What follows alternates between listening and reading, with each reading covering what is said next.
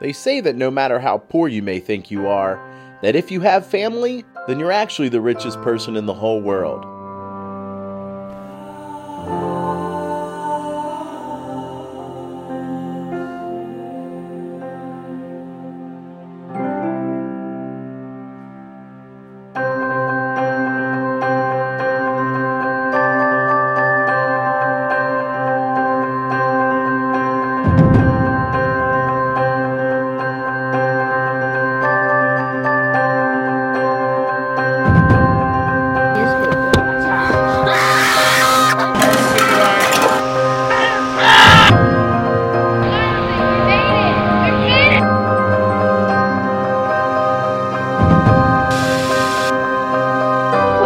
Please, please, I can do anything but this.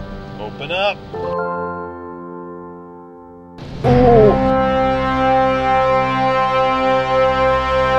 Hey, kitties. Now that's me, the richest kid in the world.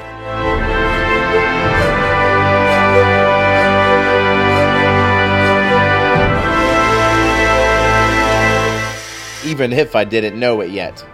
But there was still one very important thing left to learn life just isn't fair. I would just have to accept it.